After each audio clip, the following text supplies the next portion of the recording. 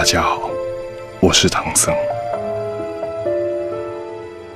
在去西天取经的路上，经过石牛镇，淳朴的镇民特地召开了盛大的集会，讨论如何吃我。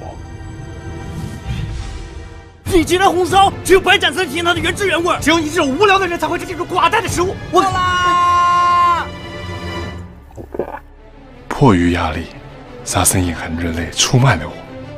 就连八戒也为了救我，悟空飞去天庭搬救兵，穷凶极恶的白虎准备过冬的食神妖怪夫妇，放弃减肥的小美，想要补充胶原蛋白的慕容白，我想普度众生，众生却只想吃我。佛祖，我该怎么办？因为，因为。我好饿，好饿！我也想吃自己的肉了。万万没想到，幺二幺八，